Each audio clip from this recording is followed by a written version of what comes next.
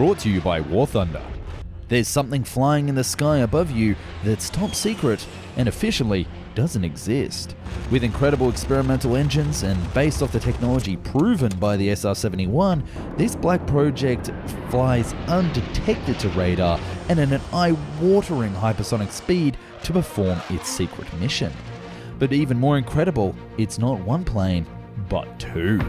Launching at 100,000 feet in the air, this Parasite aircraft is capable of powering up to a Tom Cruiser fever dream speed of Mach 15, breaking several human records and reaching near Earth orbit. This is perhaps one of the biggest speculative aircraft ever thought to exist. This monolithic craft appeared as a rumor alongside the equally mysterious Aurora program in the mid 80s. But did it ever exist? Something is in the sky. What is that? The evidence is more real than you might think. Welcome to the dark side of aviation, the story of the mysterious SR 75, the Penetrator.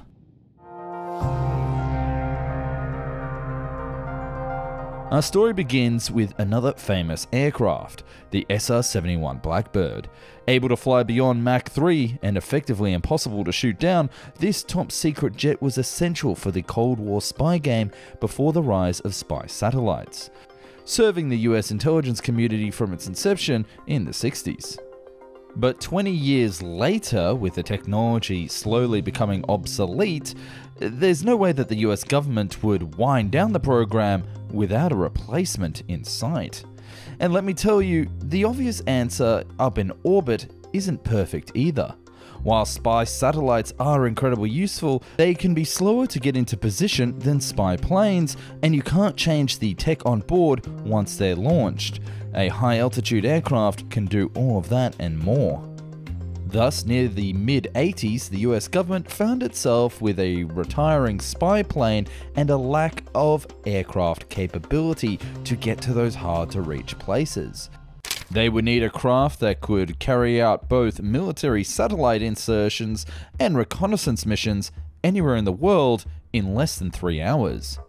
Enter the SR 75 Penetrator for the US Air Force. It was actually comprised of two separate components a mothership and a subcraft parasite that would perform the actual spy missions. Very much alike to the previous generation Lockheed M12 mothership that launched the D 21 Mach 3 drone. Let's start with the mothership. It measured 276 feet in length and had a 120 foot wingspan with a narrow fuselage alike to the SR 71. To operate it, it would have a crew of three a pilot, a co pilot, aka reconnaissance officer, who would navigate and take photos if needed and facilitate all the other mission needs, as well as a rear facing launch control officer who would work with the subcraft. They were positioned at the extreme forward section of the aircraft in a small joint cockpit. This mothership was capable of attaining altitudes exceeding 120,000 feet and fly faster than Mach 5 or 3,300 miles per hour. And let's just talk about that speed because it would operate with an engine that the world had never seen before. Called the Pulse Wave Detonation Engine, in layman's terms, the aircraft would actually detonate its fuel in a special chamber at the rear of the aircraft and then ride the shockwave up to a theoretical top speed of Mach 10. It was mechanically simple, with these engines that could operate up to an altitude of 30 to 50 kilometers above the Earth's surface and would only require a mix of liquid methane and liquid oxygen. The engines would be slung under the wings in two box like nacelles, about 40 feet in length, with vast air intakes at the front in order to get enough oxygen. After all, at the height that this aircraft was operating at, air would be in short supply, and would need to be big enough to fit even a VW Beetle. A pair of retractable canards were located just aft of the third crew member, which could be deployed during slow flight conditions, such as takeoff and landing, to give it much more control and then fully retract at speeds exceeding Mach 3 to reduce air resistance. The aircraft would also have secondary twin high bypass turbojets that would operate at these slower speeds, but the plane would also require a very long runway for takeoff. One such runway that happened to be built at Groom Lake, aka Area 51, around the same time that this project was in operation. Coincidence? Well, we'll get into that later. The SR-75 would also have a tricycle landing gear configuration with two wheels on the nose and four on each main wing. And for all those material science geeks out there, you'll be happy to know that the penetrator consisted of composite titanium like the Blackbird that had come before. Lastly, this aircraft had the same suite of sensors as the SR 71, including a sensitive gamma radiation sensor for detecting hidden nuclear weapons. But it's the parasitic subcraft where it gets a little bit more interesting. Now, I bet you're watching this and wondering, I bet if I was a Cold War pilot, I'd be able to chase down this black project and defend my country's border. Well, you can totally see how good a pilot you really are with today's video sponsor, War Thunder. Don't fast forward that timeline because I'm actually inviting you to come and play with me and fly some of the craziest aircraft ever built in War Thunder, a free online military vehicle combat game. You see, War Thunder features over 2,000 different land, sea, and air machines from the 1920s to the Cold War that you can fly, drive, and cruise to challenge yourself to be better than the aces of the past with my favourite one being so far the F 82E Twin Mustang, with its iconic double fuselage, the last propeller planes before the US Air Force switched to jet engines. Of course, this might be a bad idea because now I'm a bigger target to shoot down.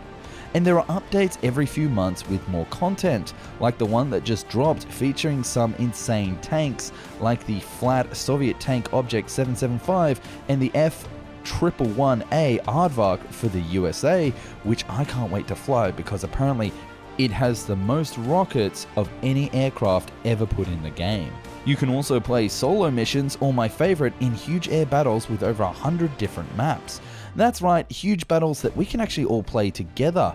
We played a few weeks ago and it was the most chaos that I've ever seen in a long time in a match, and I still am very much a beginner at the game, so you still have a great chance to save me from other players, or if you really want to, you can have a go trying to shoot me down. Plus, when you make an account with my link, you get a free bonus premium tank, aircraft, and ship, as well as a boost to your account. Now, I can already hear your excuses, but the game is actually free to play across all platforms PC, PlayStation, and Xbox, and you can cross play with anybody on any device. So you don't need anything, just a keyboard and a mouse on a basic PC will play it. So, no excuse not to make an account below with my link, do the tutorial, and come play with me at the end of this month. It's going to be an absolute blast, I know, and there'll be details in a pinned message down in the comments. Okay, back to the show.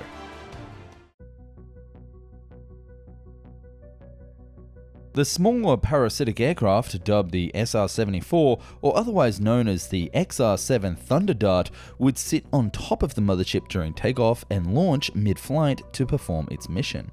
At 90 feet in length with twin vertical stabilizers, it would have a crew of two and have a fantastic near orbit capability. Yes, that's right, this bad boy can be launched from a mothership at around 100,000 feet and deploy materials up to 800,000 feet, or 151 miles above the Earth's surface. And trust me, there is nothing that could shoot down this aircraft at that point, let alone having to worry about entering other countries' borders. And this was all thanks to its two scramjet engines. They were supersonic ramjets that would burn a liquid methane with a boron based additive, giving it a range of around 250 nautical miles at Mach 15. Yes, I didn't make a mistake, that's Mach 15. Because the scramjets already require air to be flowing constantly through them to power up, the jet would not be capable of launching itself. It would have to be flown up to that height and at that speed by the mothership. The Parasite would also have a small liquid hydrogen rocket on board to place two 1,000 pound classified NSA military satellites into orbit when needed. Although you can totally imagine that these could be swapped out with 1,000 pound unstoppable guided bombs of the radioactive variety.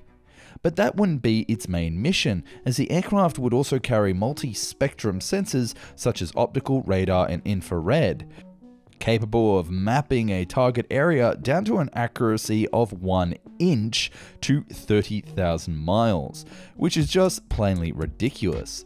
The combination of all of this was the ultimate spy aircraft that could be deployed for any mission to get any intelligence anywhere in the world. Once the little bird had sent its goods to near Earth orbit, and I know you're laughing when I say near Earth at 151 miles up, the jet would then return back to Earth and land at a typical airport like one in the middle of the desert. I also want to specify that multiple sources are saying either the small craft went into orbit or just the rocket on board, and I actually believe the latter, as during the design process, the US military still had access to the shuttle. It actually resembles the Convair Kingfish and Superfish, and very likely the project was directly inspired or utilized learnings from this predecessor. Both aircraft were parasitic aircraft that were supposed to be launched for missions by a mothership and were quite capable of going the speeds required. Now, you might be scratching your head at this point and asking, Nick, just how realistic is this project that no one has even heard of?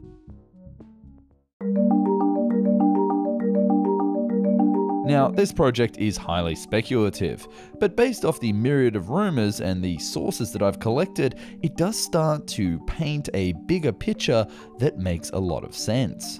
Starting in the mid 1980s, the US Air Force and NASA endorsed several studies focusing on aircraft aligning with the descriptions of the Aurora Reconnaissance Aircraft Project. This project was intended to succeed the SR 71 Blackbird, which was slated for retirement in the distant year of 1999. Whilst it had been revealed by various sources that Lockheed's secretive Skunk Works was developing the SR 75 Predator for the US Air Force, the initial discussions of the term Aurora occurred way back in 1985 in the US budget. This term apparently, according to the source of the video, was only for the prototype aircraft leading up to the SR 75. A small sum of 455 million was allocated for the aircraft construction by the fiscal year 1987, with the rest coming from black hole projects in the US budget. Previously, with the Challenger disaster in 1986 and access to space reduced, the military realized this project was needed more than ever, and thus the prototypes prioritized to be able to launch those essential spy satellites. Aviation Week and Space Technology magazine were the first to report on this revelation, with the design and construction being awarded to Lockheed's famous Skunk Works, their Advanced Development Projects division, with Rockwell retaining the structural subcontractor job thanks to both its works on the SR 71 and the North American Aviation XB 70, respectively. Groom Lake was then selected as its testing location, obviously, and suitable hangars and runways were built the latter remarkably long for only, it seems, a heavy and powerful aircraft design. Coincidence? So, what happened next? Well, apparently the SR 75 went fully operational in 1989 after two years of flight testing, with the actual international test flights flying across the planet. Global Security quoted a source that outlined this mission. The Aurora was flown from a base in the Nevada desert to an atoll in the Pacific, and then on to Scotland to refuel before returning to the US at night. A specially modified tanker aircraft was being used to top up the Aurora's tanks with liquid methane fuel in mid-air. The US Air Force was then also using the remote RAF airbase in Scotland as a staging point thanks to how remote it is. The mystery aircraft dropping in at night before streaking back across the North Pole to America at more than six times the speed of sound. Returning over US soil, it was escorted then by an F111 Aardvark, which you can actually play in War Thunder, a fighter bomber that was scrambled to fly as close as possible to the black painted aircraft to confuse air traffic control and hide it from civilian controlled radars. With testing showing promise, the budget was then expanded to a range from 4.4 billion to 8 billion, with a procurement of 24 aircraft, one Parasite and one Mothership each, costing an additional 10 to 24 billion. But all of that would start to come undone. By 1995, the US Congress approved $100 million to reinstate the SR 71 fleet and bring three aircraft operational. One viewpoint suggested that the SR 75 penetrator project might have actually been abandoned at this point, either due to cost constraints or technical challenges, leading to the urgent revival of the SR 71 to resume its mobile surveillance duties. You would only do this if there was a flaw with the current plan.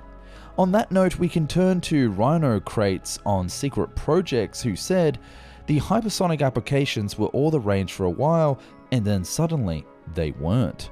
Perhaps not because they suddenly became secret, but because testing showed that they didn't work, or they worked but vibration caused cumulative irreparable damage to the airframes. Other possibilities are that they didn't achieve the performance needed to fulfill their intended missions, or that the thermal management system had problems that were intraceable with the technology of the day. Or maybe it even worked, but was incredibly expensive and required an extensive rebuild after each mission. In some ways, prolonged hypersonic flight is more difficult than spaceflight. Re entry from orbit is fast but brief, whilst Mach 6 cruise throughout roasts the plane, its systems, and its occupants. And side note on that, we do know that there was a breakthrough with hypersonic technologies only a year or so ago, where they 3D printed a cooling system to be built into the engine. They didn't have that technology back then.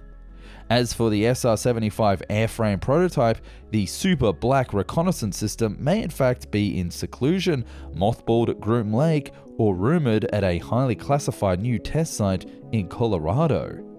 With its technology going on to develop the incredible Boeing X 37 spaceplane, which very much does exist and will be a future video on the channel, so be sure to subscribe. So let's actually answer one of the big questions. Why would the US actually build this aircraft and does it really exist?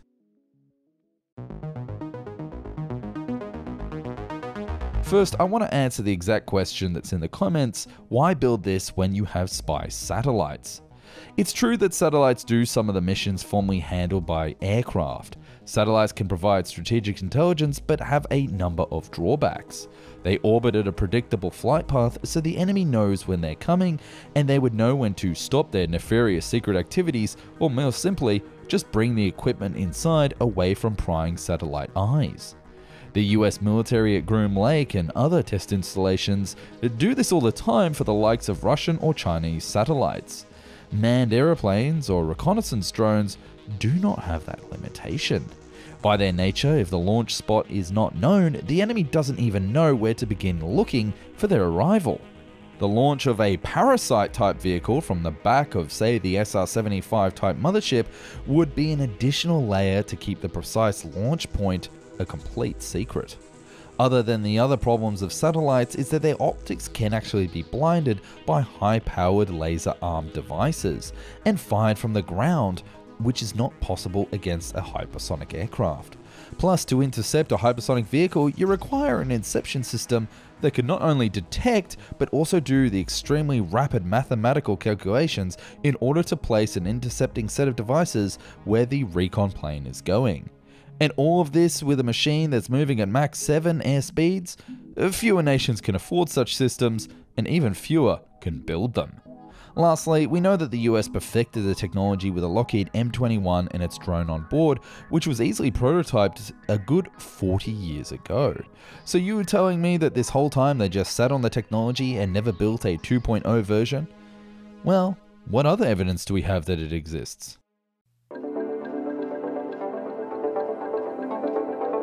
Apart from rumors on websites that you would be embarrassed to have in your search history, there are a few other examples. For one, the model makers have been putting together pretty much accurate kits of the aircraft for the last 30 years. For particular, a designer, Bondo Phil Brandt put together a highly detailed model from various sources, and seeing that he absolutely nailed the F 117 a few years earlier, much to the shock of the Air Force, maybe he struck gold again. But that's not all. According to the source of this video, there are some eyewitness accounts.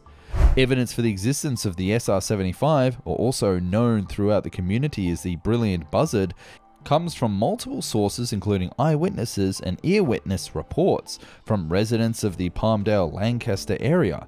Witnesses describe a high speed aircraft characterized by a very loud, deep, and rumbling roar reminiscent of heavy lift rockets. When observed at a medium altitude, this type of aircraft makes a pulsing sound and leaves a thick, segmented smoke trail, very typical of a pulse detonation wave engine.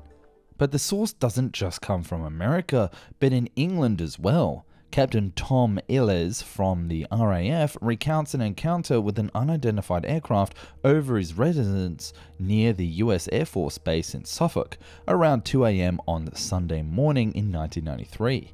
Startled awake, he describes a particular pulsating engine noise of the aircraft unlike that he had ever heard before. The lights of the mysterious craft vanish in the direction of the Air Force Base, and upon inquiring with a senior officer, the next day he was sternly instructed to cease investigations immediately. He would then go on records to say that this sighting was the new stealth aircraft known only as the Aurora. With so many people witnessing such a contrail, you have to start to wonder how so many people could get it right. Maybe some viewers have seen these types of donut clouds in the sky, and if you have, I'd love to know in the comments. But everybody knows that eyewitness testimony can be a little bit shaky, so what about actual data? Well, starting in the early 90s, a series of particular sonic booms emerged in Southern California, which were detected and recorded by sensors belonging to the United States Geological Survey. They were originally designed to pinpoint earthquake epicenters. These sonic booms exhibited characteristics typical of a smaller vehicle, distinct from the 37 meter long Space Shuttle orbiter. Notably, neither the shuttle nor NASA's lone SR 71B were in operation in those days when the sonic booms were documented. In an article titled In Plain Sight, published in the Washington City paper back in 1992, Jim Mori, one of the seismologists, remarked, We can't discern anything about the vehicle. They appear more intense than other occasional sonic booms that we record. And then all of them record on a Thursday morning around the same time between 4 and 7 am. The article would then go on to quote Dom Maglieri, a former NASA sonic boom expert who analyzed the 15 year old sonic boom data from the California Institute of Technology and concluded the data indicated something at 90,000 feet, approximately 27 kilometers, flying at Mach 4 to Mach 5.2 and he also noted that these booms didn't resemble those produced by any aircraft traversing the atmosphere several miles away at Los Angeles International Airport. Instead, they seemed to be the result of booms from high altitude aircraft directly above the ground traveling at a significant hypersonic speed. The distinct boom signatures were of two different aircraft patterns that were markedly dissimilar, meaning many experts to believe that there are actually two different aircrafts flying, perhaps a mothership and its parasite. But what does Lockheed, the supposed creators of this aircraft, say about it? Well, the National Interest cited a book by Ben Rich, who was a former director of the Skunk Works, and he poured cold water into this Aurora hypothesis.